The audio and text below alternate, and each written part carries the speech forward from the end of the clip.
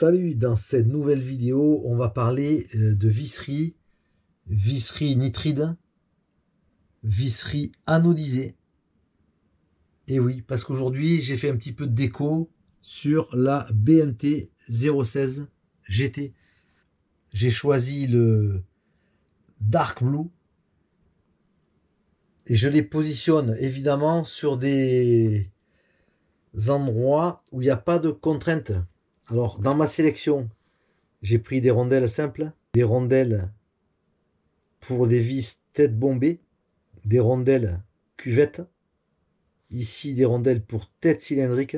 Alors, toutes ces rondelles, c'est du M3 évidemment. Hein. Ici, un écrou ni stop M3.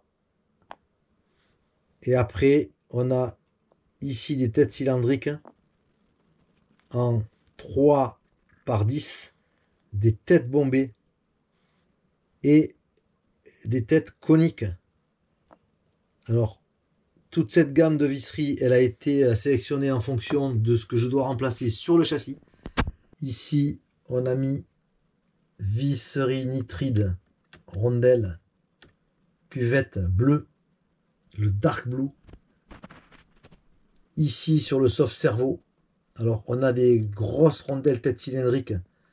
Et je fais euh, sur certains euh, endroits des remplacements du 2 par du 2,5. Ça permet un meilleur serrage, un meilleur maintien.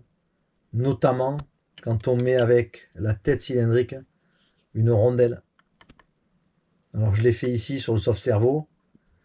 Je l'ai fait ici pour le maintien à l'arrière du platine et je l'ai fait ici sur le levier de frein ici.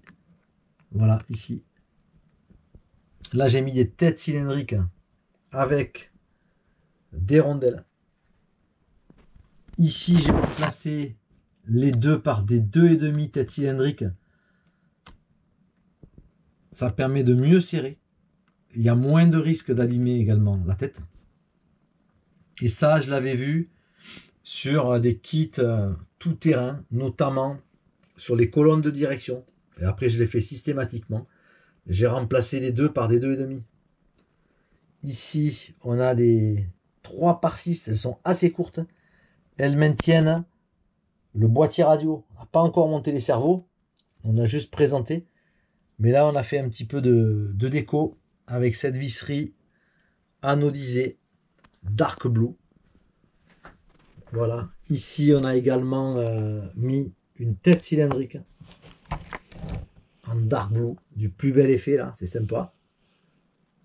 Voilà, on les a ici, on les a là. Donc on, va avancer euh, le montage.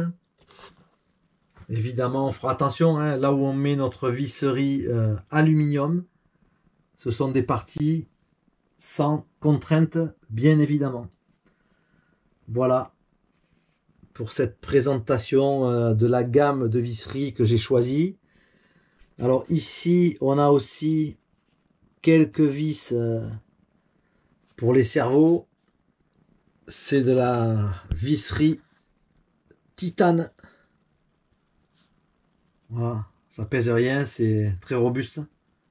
Alors on les mettra probablement ici sur la fixation des cerveaux, où les vis sont à l'intérieur.